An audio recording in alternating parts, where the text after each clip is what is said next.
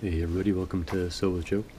Today we have a whole bunch of really positive stories about solar energy and advancements in solar that are going to make it better than ever. And I'm going to drop my notes on the floor and then uh, we're also going to work on my 20 plus year old jeans. We've started a uh, to patch a uh, hole in the crotch here and we're going to carry on with that. So yeah. Solar energy quick hits, good stories. So,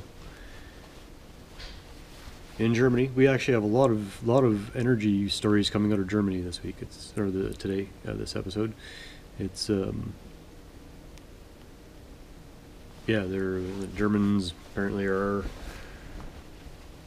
investing heavily in in solar energy and, and power and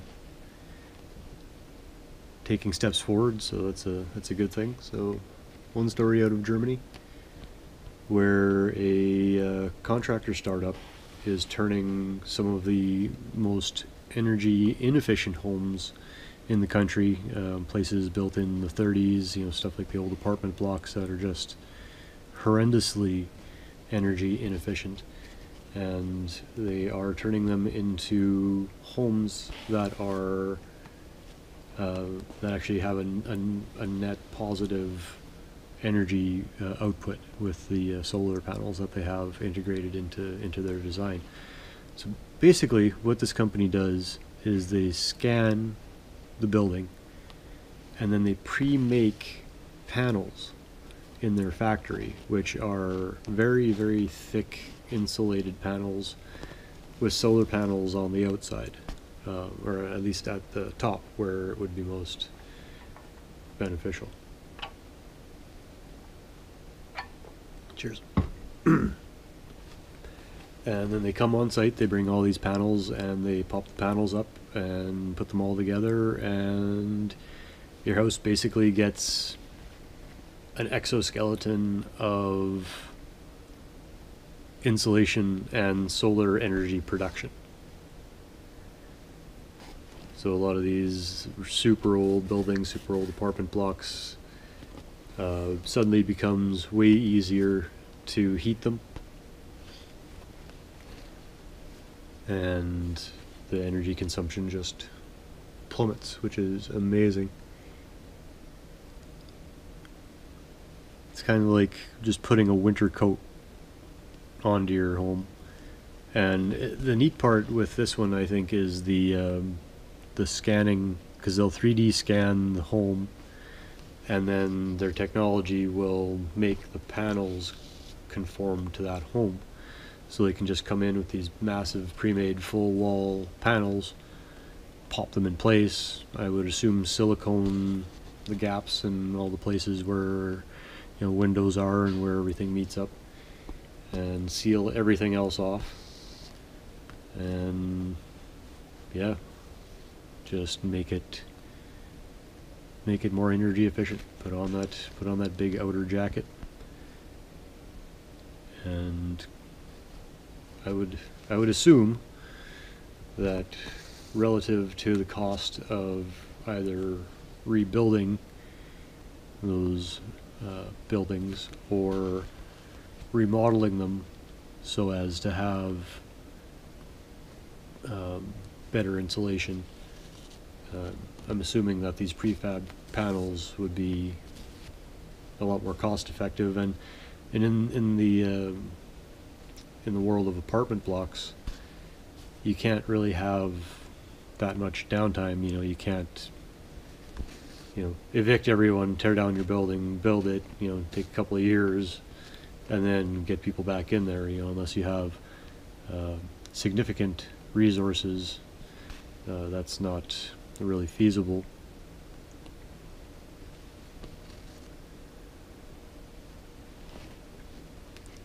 Anyways, quick hits. Moving on to the next one. Munich has their first solar bus.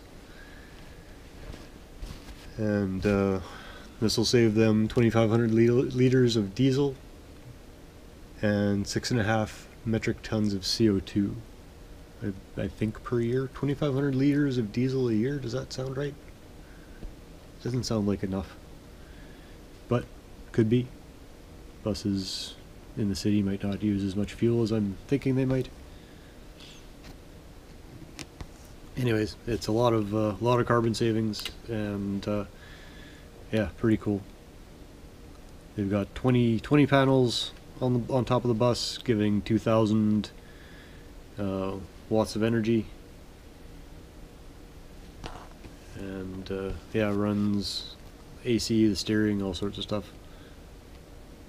I don't know if it's a pure electric bus. Now that I've said that, maybe it's just solar adding or helping with the load. I'm not sure. Didn't read that article very well, apparently. Or it wasn't clear. I'm not sure. That's one thing I find with some of these articles that I read.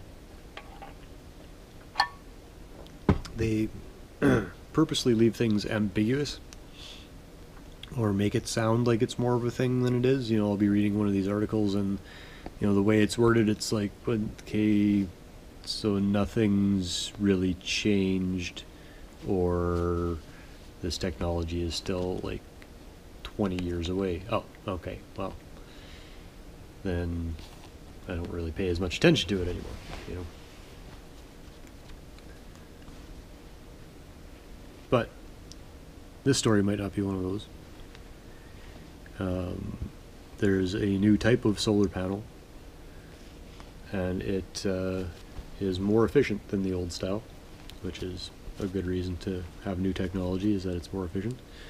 Um, the old silicon style solar panels uh, are boasting about a 20% efficiency, harnessing uh, the waves coming from the sun and this new style is is boasting a 24% efficiency. And that's a, that's about a 20% boost in efficiency. So that's nothing to really to, to really sneeze at. Um, that's that's pretty big.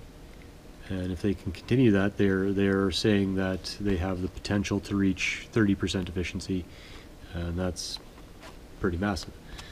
So big steps in uh, solar energy energy production.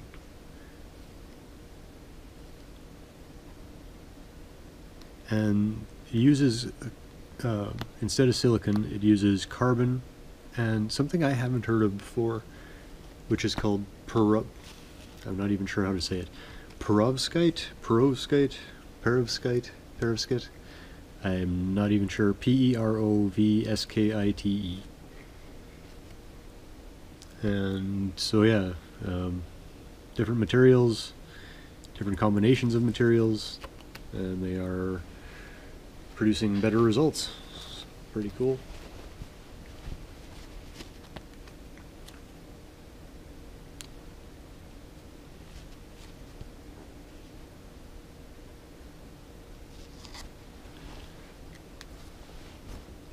And last but not least one thing that I've been thinking is is really important as far as the future of solar panels and electric cheers. Electric vehicles and storage and that sort of thing. And that is a better storage system. Build a better battery and the world will make you a very rich man. Let's just cut to the chase on that old adage. Um, and this is this is interesting. This is a different way of thinking. It seems. Um, so what they're doing is they're taking solar. Whoops, I dropped my needle.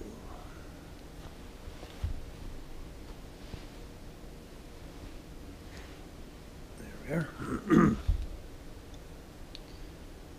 That. Dropped my needle, now I lost my thread. Ah, there we are. Happens to everybody.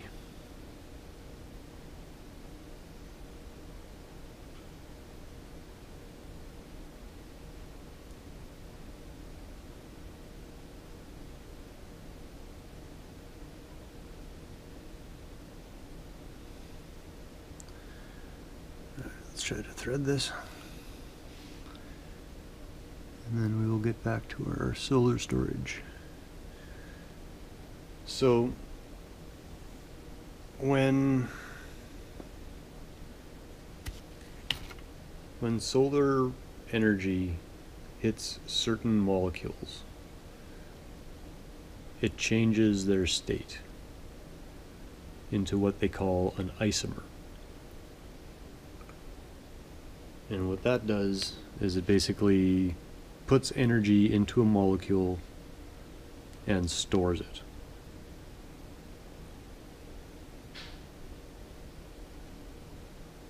Changes it on a on a on some level, on a molecular level, and stores that energy. So what they're doing is they have these molecules in a liquid. The liquid allows the molecules to be stored. And the liquid is exposed to solar energy. The solar energy is absorbed by the molecules, turning them into isomers. And then that energy is stored somewhat like in, in a battery, but different, completely different technology as traditional batteries. And then that stored solar energy can be transported and put into gadgets, devices. Then that as that solar energy is released, it causes heat. That heat causes electric can can be made to make electricity. So rather than having solar power charge up the battery, you'll have solar power charging up this liquid film, but the film can be like inside a solid, so it can be like a battery almost. Uh, if I'm understanding this technology correctly, I think I am. Um, it could really, you know, as long as it's a more efficient way of storing solar energy than it is to convert in a solar panel to electricity and then store it in a chemical environment like in a battery. You know, if that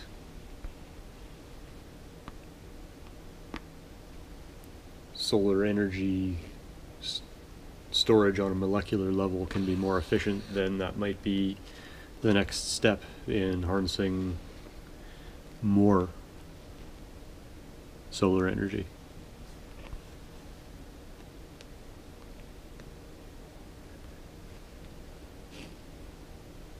and I I think that's what needs to happen is building building a better battery, and that seems like seems like that's what this is. So uh, could be the next big step in everything electronic. And solar is fast becoming one of the major energy producers on the planet, which is appropriate. I'm thinking deep geothermal and solar even just the solar, if we harness it properly, would be enough to power the world.